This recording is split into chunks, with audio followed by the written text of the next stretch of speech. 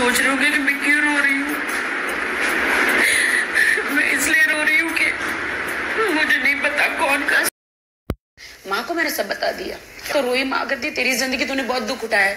तू ले अपनी ज़िंदगी। माँ ने एक सवाल नहीं किया। एक सवाल नहीं किया, ये क्या है? कौन है ये आदमी?